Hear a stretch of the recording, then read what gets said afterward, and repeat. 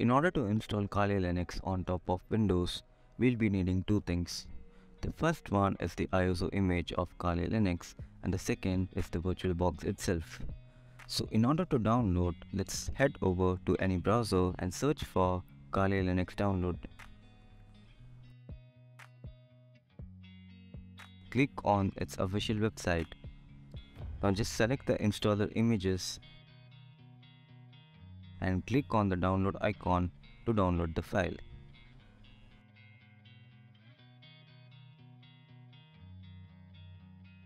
As I have already downloaded the file, I will not be downloading it again. Then open a new tab and search for VirtualBox download.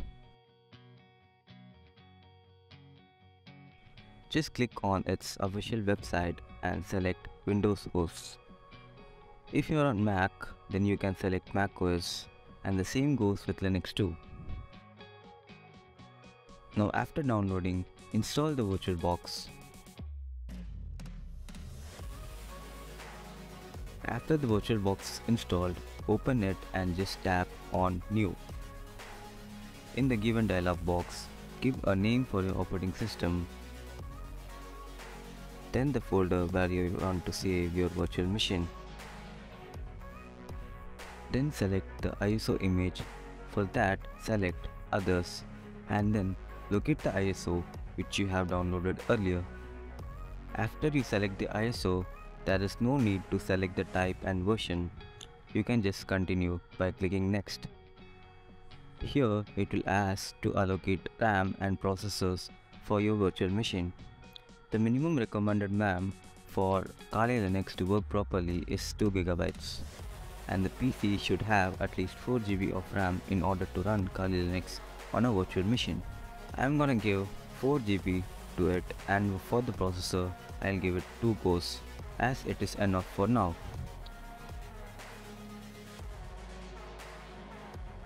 Click next to continue. Now it will ask for create a virtual hard disk the minimum recommended space for running Kali Linux is 25 GB. Here I'll give around 60 GB of space. Finally, the virtual machine is set up. Now let's start the machine. After starting, the installer will begin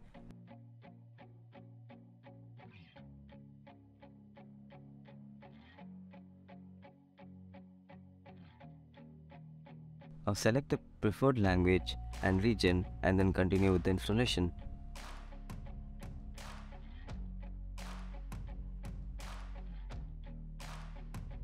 Then it will ask you to provide host name and domain name for the operating system.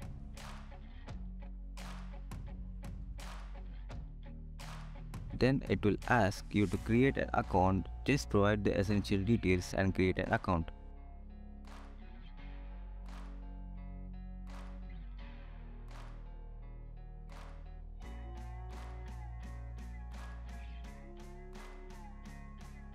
Then select the first option in the partitioning method which is use entire disk. This will automatically partition your disk and make it ready for the installation. Then in the next screen, select finish partitioning and write changes to disk. Click on yes to confirm and the installation will begin immediately.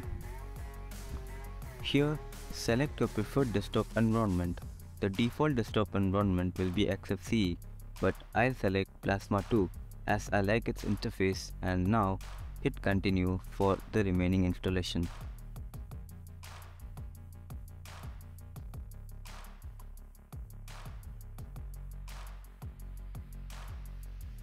Here just select yes and continue.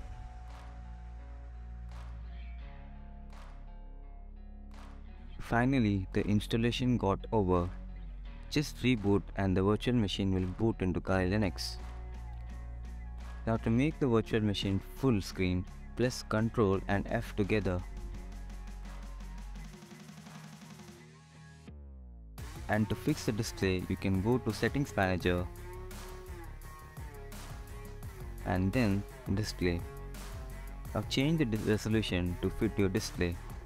If you think this video was informative, make sure to hit like and subscribe this channel for more cool contents like this. With that said, let's meet in the next one.